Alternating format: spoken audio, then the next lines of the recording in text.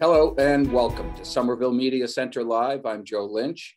This is the state delegation update for February 25th, 2021.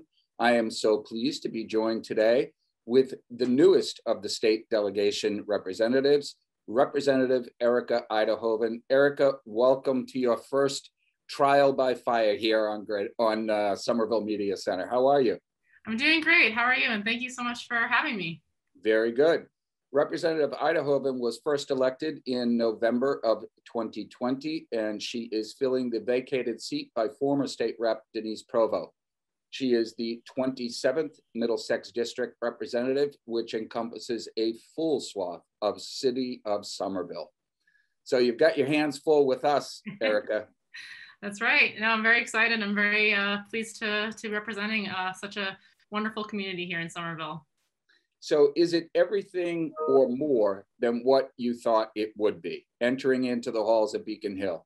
Yeah, it's um it's everything and more. It's it's really um truly public service is such an incredible honor, right? And responsibility um and and something that, you know, especially I, we've been through so much, right? Even just in the past month and a half since I've been since I've been inaugurated. I mean, we've had the vaccine rollout. I mean, our neighbors are facing really serious um, issues around unemployment, healthcare access, um, all that, as well as right the the whole process of of legislating and and filing bills, right? And the people you you meet and you work with, you know, with folks who who really work on the ground on a lot of these issues, um, community organizations. So all of that, you know, I mean, I had a a flavor of that right as an advocate before i came in but like you know as, as a state rep i mean it is truly just such uh, an immensely um, it's difficult but rewarding work right and that you know it's it's it's incredible to to be able to help constituents meet their needs. Um, that is incredibly important as well as you know fighting for these bills that we need to see on beacon hill. So and, and working with my colleagues to, to fight for bills that have come before me. So yeah it's been it's been quite a ride I've looked at I've looked at your website on the mm-hmm. um, official website for yeah. the Commonwealth, and you have filed a massive amount of bills. Yes. So I'm going to say I'm going to make a statement here that you had pre-planned uh, mm-hmm. prior mm-hmm. to announcing, you know, what you were going to be doing in terms of running for the open seat, and you had all these major plans up until probably around March 10th of 2020. And right. a lot of it, you had to adjust a lot of those based on the middle of the pandemic. We're still a year into it. It's amazing to me that in March next month, coming next week, yeah. that we will be one year into this mm-hmm. pandemic and the crises that has touched everyone. Yes. So, definitely. what kind of things have you had to reprioritize a little bit during pandemic? Oh, it's an interesting question. I mean, I think um, particularly with the pandemic, so my, one of my biggest issues is raising progressive revenue so that we can fully fund education, healthcare, housing, transportation, all our big needs, as well as a livable climate, right? So all the work we need to do in terms of getting to, you know, net zero um, carbon emissions. Um, those were all issues before the pandemic, but the pandemic has heightened them, right? So just to give an example with housing insecurity, it has doubled if not tripled right in terms of the need. So we need that funding now. We needed it before right the pandemic. Affordability was a problem right? Displacement gentrification these were all huge issues in somerville. But now with the pandemic it's been magnified it's been multiplied right? And so i, I take housing as one example because that is, is a very big issue here in somerville but that's the same with food insecurity. It's the same with education funding right? Especially if we're going to open our schools safely we need to be funding right? To enable that, we can update our infrastructure, that we can ensure that we can bring on more educators, we can, you know, safely reopen in a way that is actually just and and um, and and healthy for our communities. So those things have all it's if anything it's those issues were all there right? With many of these issues before the pandemic they were all present with us. Um, and they were crises just as much before the pandemic but with the pandemic they've been exacerbated and further exposed right?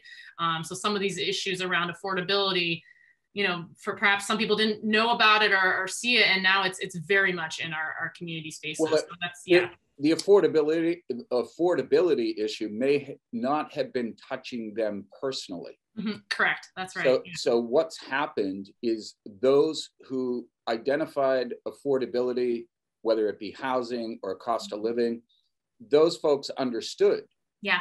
what it was. Oh yeah.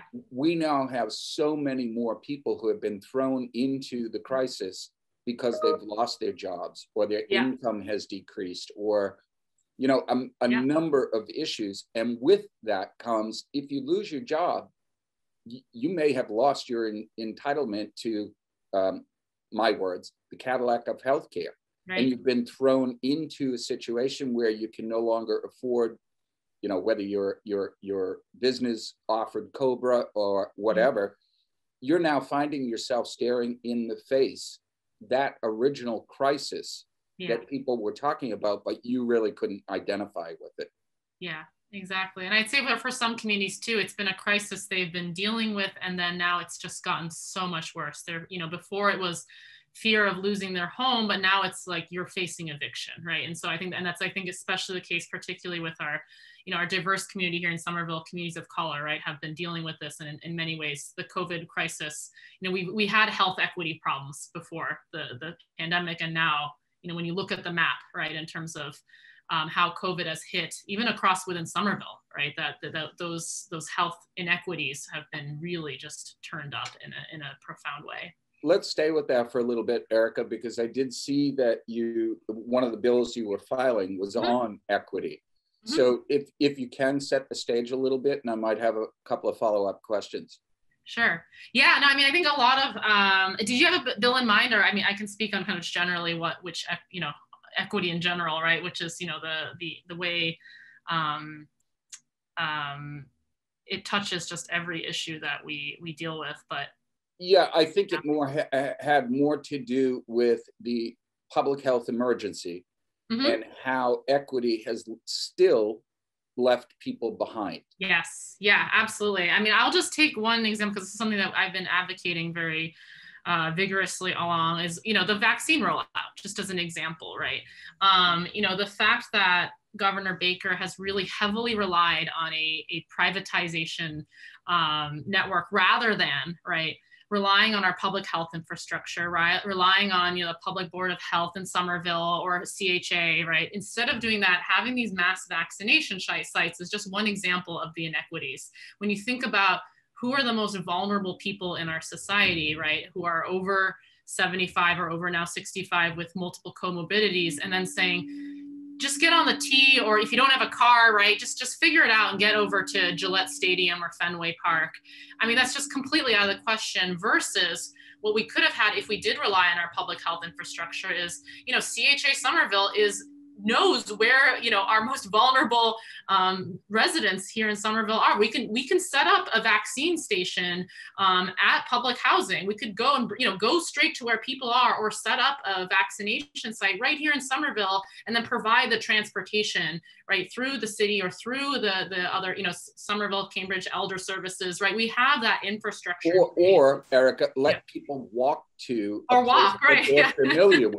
Right. Exactly right, and a, and a, or go to the primary care physician that they usually go to, right? I mean, there's just ways that we could have rolled out this vaccine in a way, and I'm I'm just naming examples of transportation equity, right? Never mind, right? There's language equity. So, you know, we need to reach people in the languages they speak. And as we saw with the vaccine rollout, and the website was already difficult enough if you spoke English as a first language, never mind, right? Having to get that information um, to our, you know, our diverse communities. So, you know, that's just one example, right, of this public health crisis and the inequities that have been exacerbated and then even with our solutions right when you look at who has been able to access the vaccines they're people who have you know members of their family who are able to take care of them and bring them yet you know by their private vehicle to to these vaccination sites but there are many people who don't have those privileges and that's just one example right of, of, of privilege and, and equity and that how it's manifesting itself so a quick follow up on that do you think that governor baker because you're not the only one to yeah. to weigh in on that mm-hmm. um, the mayor of somerville has yeah. criticized the the governor's rollout um, other mayors of mm-hmm. inner city or, or communities where there are such huge gaps in in fairness. Yeah. Do you think the governor did that purposely, or do you think he was too much relying on mm. a hmm. quick fix for the vast number of people rather than looking at people who have the most need? Yeah, I mean, I think the, I mean, in terms of the intentionality, I can't speak on that. But what I can say is that, you know, we have a Republican governor, right, who believes, who does not believe in our public goods. Um, there is a reason why he is relying on, you know, private companies and contractors who have no track record of being able to reach our, our communities or no track record of, of executing this because he doesn't believe in our public health infrastructure. Um, or, you know, he has never said he was, you know, as a candidate, right? Like that's been pretty clear from the get-go. And, you know, that the same thing applies when you look at, you know, public transportation is another great example. Let's talk about, you know, major public good in our, our society. He's cut services. Now i don't think that those cuts were necessary and they are in, that's another example of inequity right in terms of who is being able who, who relies on public transportation still today and now who is being disserviced by this and chipping away at that public good. But then in the meantime right when he was cutting he was making cuts to these services he also enacted a fare transformation um, capital investment, which is nearly a billion dollars, so that we can collect fares more efficiently. It largely went to, again, to a private contractor. I mean, he's doing exactly what we, we elected him to do, right, as a Republican governor. Now, I have major disagreements, right, uh, as you can probably tell from this interview, that I don't agree with what he's doing. But this is why it's so, so important in 2022 that we don't elect a Republican governor and that we elect a progressive governor right to to the state because this is, these are the consequences we are facing and particularly right our public health infrastructure public transportation and now our public schools are all under attack um, through his policies. And whether that's intentional or not that's i think something he never denied he would do either when he ran. So your contention is is that a democratic governor could do a much better job mm-hmm. versus charlie baker the way he's done it Oh, absolutely. Yeah. And I think that's a narrative we need to break through, right? That he's this sort of reasonable Republican. It's like when you look again at these equity issues, these are not reasonable. These are incredibly harmful to our, our communities. Not that either one of us are, are a psychotherapist, but uh, why does why does this governor have such a high rating across Massachusetts? He doesn't necessarily have mm. such a high mm. rating within certain segments of the Democratic Party, yeah. but why does he have such high ratings? Ooh, that's a very good question. I mean, I think it comes down to unfortunately, state government is in this weird in between space from local government and federal government, particularly around media. And that's why Somerville Media Center is so, so important, right? And, and news outlets like this are so important, particularly around local media, um, because that is something that we've really lost a lot of, right? And we faced a lot of hurdles and, and funding um, for local media that I think that is what leads to these poll numbers that don't reflect right the action. And then also i think if most people understood what was happening i don't think we would see these poll numbers. But you know you have federal government that is constantly on tv right? It's very easy to get access to that information. And you've got local government which is um, it's more in our our lives right? Like especially if you you know long time resident in any community right knows who their city councilors or you know town meeting members are and so they engage with them on this you know very local micro right level. But state government's in this weird in between space where you know even when i was campaigning i would talk to people and they'd say wait sorry can you explain to me what your role is? Like i don't know what it is. And what, i would say oh yeah. what is a state rep? What is a state rep? Yeah so you know my you know my answer was basically you know we have a similar government at the state level, like you see in the federal level, and we have the equivalent of a president, which is the governor, and then you have the legislature, which is a Senate and the House, and I represent someone in the House, one of the 160 members. But that alone, right, is not common information, and so you know that that's where I think that state government really rests in this weird in-between space that is a, a lot of folks don't have either knowledge or access to or don't feel the you know agency to be able to engage right. in that space meaningfully right and thank you uh, you know thank you grateful for the compliment but that's what we've been trying to do during the pandemic by yeah. inviting in the city council president the state delegation and the school committee because they tend to get lost in the mm-hmm. communication system where you're only hearing from the governor you're mm-hmm. only hearing from the mayor and through no fault of their own, they have a communications apparatus that's right. been built. The yeah. state house really does not. mm-hmm. um, and people have to depend on reporters calling you and saying, "Can you give me an interview?" Yeah. Right. So the vehicle that we're trying to use, and thank you again for the compliment, is to make sure that people understand what roles the different forms of government play. Mm-hmm. You came into um, you came into this mishigas of I'm gonna I'm gonna do what they elected me to do, and then all of a sudden you had to take a left turn into the middle of the pandemic. Mm-hmm. But your original comments here on the show is the pandemic has ripped off the band-aid mm-hmm. that we have put on these types of, of issues for a very, very long time. Yeah. One of the things that you are tackling is transparency. Mm-hmm. Is how are decisions being made? Who's making them? Yeah. And how much does the public get to weigh in on those things? Yeah. So my my question is how many times have you had a virtual lunch with the new speaker of the house um, i have i have actually got to meet with him in person this was back in in the fall um, but otherwise right it's been through caucus and, and all that but yeah it's been i mean it's certainly i will say um, you know there's a lot of challenges with uh, legislating in the COVID pandemic, right? And one of them is that you know we're not able to meet in person. Now, fortunately, um, you know I've been able to go into the House for formal session twice, um, but you know largely that was because I was speaking on um, an amendment and the other time I was being inaugurated, right? So that that is a chance to meet with legislators, but it is a, a pretty big hurdle, right? When we're all remote um, and to be able to to exchange all the you know conversations that we need to exchange so we can push things forward that is certainly is one of the big challenges and you know certainly something that the session prior to mine had to learn and deal with and then you know we're learning as well as we we enter this new this new way so transparency versus mm-hmm. you know the the uh, hallway conversations yeah. that most politicians have most yep. elected officials you do a lot of business in the hall mm-hmm. you do a lot of business over the phone and then when it comes to the public demonstration of your work that's all in the public yeah one of the things that has always been uh, frustrating for me from the state level governance mm-hmm.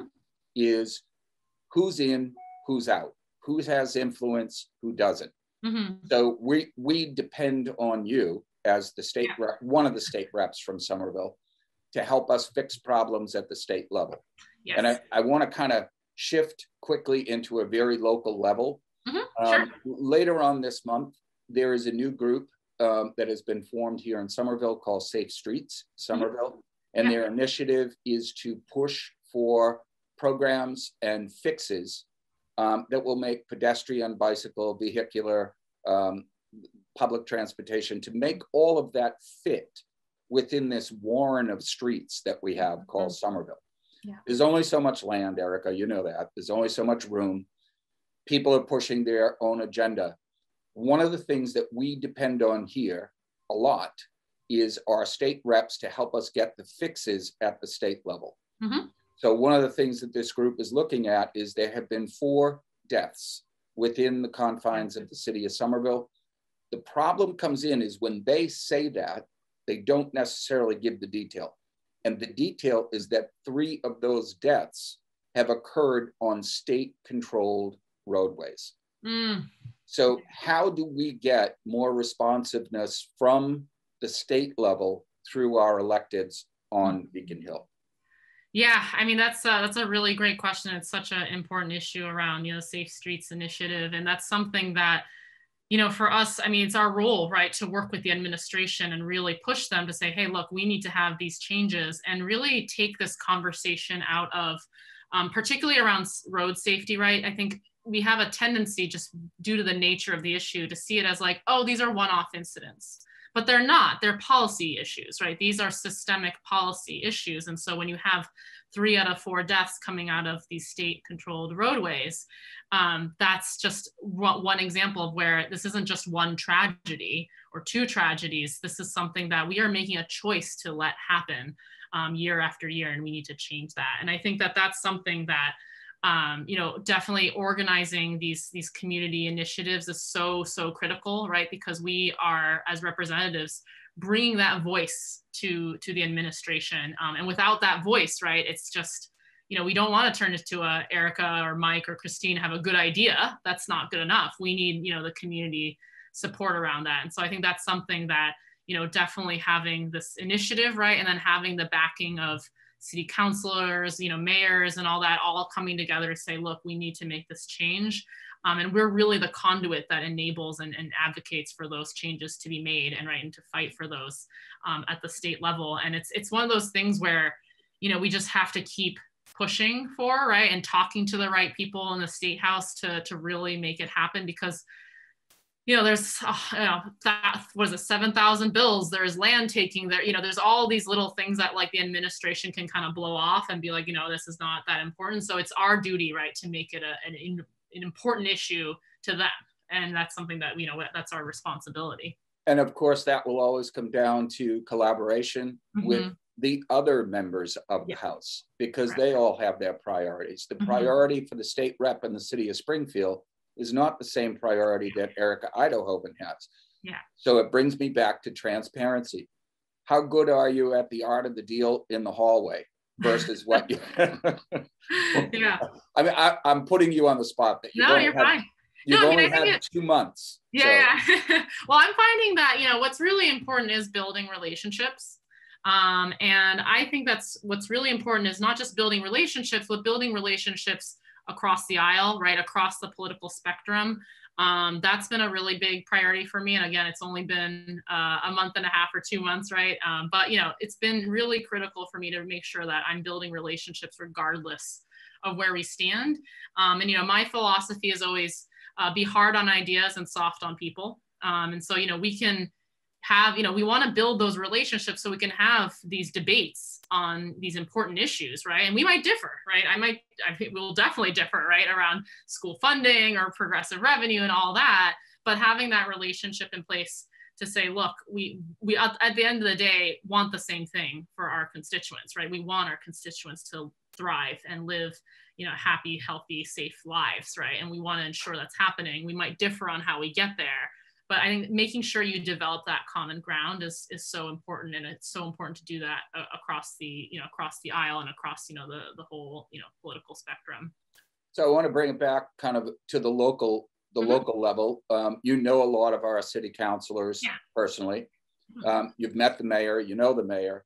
Um, how much does he include the mayor of Somerville? How much do the, does he include the state delegation in what he's trying to do locally. And he's also head of the Mass Municipal Mayors Association. So yeah. is there a channel that he uses? I mean, pre-pandemic, during pandemic is a little different, but yeah. how closely involved is the entire delegation in what he needs and what he wants? Yeah. No, I mean, I think we're we're you know definitely in touch regularly, right? Especially around all the important local issues. So just to give an example, right, GLX is something we, as a delegation, right, tackle all the home rule petitions. It's very important that we're all on the same page about that, as well as you know just even over the past month, right, the short time I've been here, you know, I've been in touch with the mayor's office to, you know, just figure out, hey, what's going on with the vaccine rollout? You know, is what is what I'm reading in the paper, right, and I know about online, is that matching up with what you're you're experiencing? Like, is there anything else that you need me to know about? particularly at this local level, so that when I go and testify or advocate or write letters to the governor, um, that I have those questions ready that is informed by you know what's going on at the city level. And i think that's where you know city and uh, sorry municipal and, and state government really um, meet right is that we, we want to make sure we're on the same page. And largely with all these issues that's been coming up um, around covid-19 the vaccine and, and reopening schools we're on the same team about this right? Like i mean we need to make sure that the governor's administration is communicating with somerville on what they're you know have you know asking them to do or you know what mandates they put out um, and we're finding that that communication hasn't been between the you know governor's administration and municipalities hasn't been great i mean to put it really frankly well it's uh, you know it's very it's yeah. very clear from the public statements that the mayor of somerville is yeah. making is that he is extremely frustrated oh, yeah. with it's, some what's happening at the administ- baker administration yeah um, absolutely and that will inevitably filter to our state delegation mm-hmm. right that's people right. will say, well, you know, the mayor needs help from the state delegation. Mm-hmm. What are they doing to get Charlie Baker to understand that we can probably administer a lot of these things better yep. than you can at the state level? Absolutely. So just, yeah. just not defending Charlie Baker, not defending Joe Curtatone, just saying these are business relationships that people have. Yeah. And if you continue to criticize, he may get to the point where he said, well, you know what, Joe? I'm satisfying 70% of the state. Um, that's just an observation on my yeah. part. No, but it's yeah, but it is you know I think the communication piece has been you know I empathize a lot with the the the mayor's administration right now because it has been really challenging right when we find out first on the news right rather than being like hey heads up guys you know your phones are going to go off over this announcement we're putting out right. You know it's just little things like that I think is something that you know we just have to keep saying look you, you got to do better on that front um, and it so is it is going to require a lot of patience and it's going to require a lot of understanding from mm-hmm. anybody who's in the decision making process yeah. um, to have patience with those who don't understand mm-hmm. the decision making process. I want to move into uh, very quickly your mm-hmm. thoughts on school reopening. Somerville mm-hmm. has targeted March 4th for the beginning of the rollout. Yeah. Thoughts, at, the thoughts from your level.